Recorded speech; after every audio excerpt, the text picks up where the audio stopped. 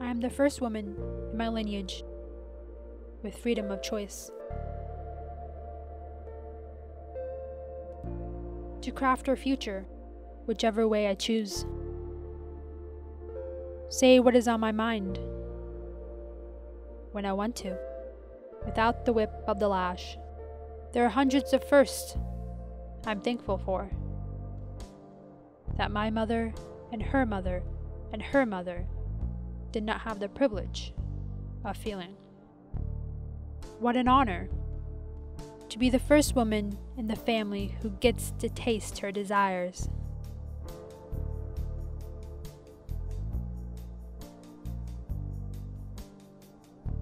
No wonder I'm starving to fill up on this life. I have generations of bellies to feed for. The grandmothers must be howling with laughter.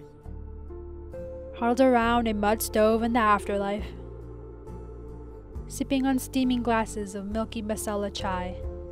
How wild it must be for them to see one of their own living so boldly.